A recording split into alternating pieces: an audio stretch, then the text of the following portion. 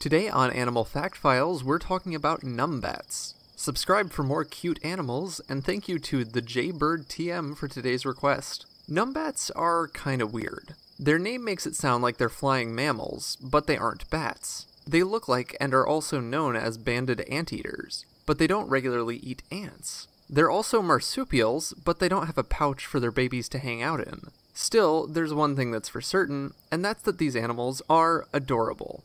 They're also endangered. It's believed that numbats are currently populating about 1% of their former range. Previously, numbats could be found throughout most of southern Australia. Today, they're limited to two isolated areas in the southwest corner of the continent. Part of their limitation comes from habitat availability. Numbats need areas, such as fallen logs, where they can hide from predators, and they also need access to termites. Numbats live in eucalyptus forests and spend most of their time on the ground. While many marsupials are nocturnal, numbats are active during the day because of their diet. Numbats almost exclusively eat termites, and though they have sharp claws, numbats aren't able to dig termites deep out of their homes. It's not like numbats are all that big. They average just over a pound in weight, and just over a foot in length, including their bushy tails. So numbats have to eat during the day when termites are active moving around much closer to the surface, and more readily found with a sensitive numbat nose. Numbats eat with a long, sticky tongue,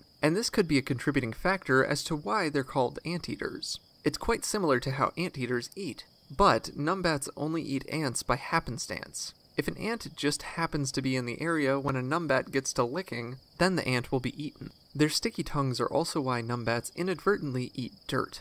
Numbats don't really chew their food, and thus their teeth are more like pegs in their mouth, which could explain why they back down from pretty much any fight. When up against a predator, a numbat will flee to a nearby burrow. They never stray too far from one. Once in a burrow, the numbat will spread its legs and wedge itself in place in an attempt to make it more difficult to remove from the hole. If they're successful in this act throughout their lives, numbats can live to be 5 years old in the wild, and double that in captivity, though they probably have a lot fewer predators in captivity. As we mentioned earlier, numbats are weird marsupials. Instead of a pouch, mother numbats have special hairs surrounding their four teats, which baby numbats will cling to for their first few months of life. Numbats generally have four babies at a time, and the mothers will carry them around until they're too big and she has to kick them off. When this happens, she'll place them in a den to keep them safe until they're old enough to venture out on their own, which happens at about 11 months of age. Once they set out, they find their own territory and remain solitary until they're ready to breed.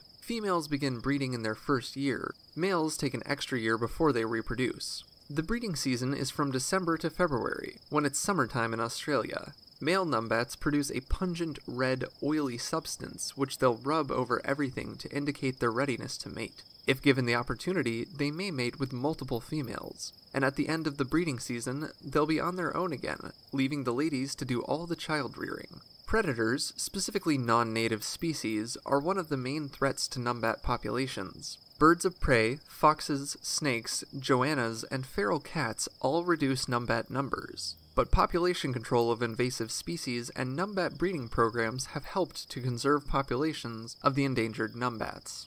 For more facts on numbats, check out the links in the description. Give a thumbs up if you learned something new today, and thank you for watching Animal Fact Files.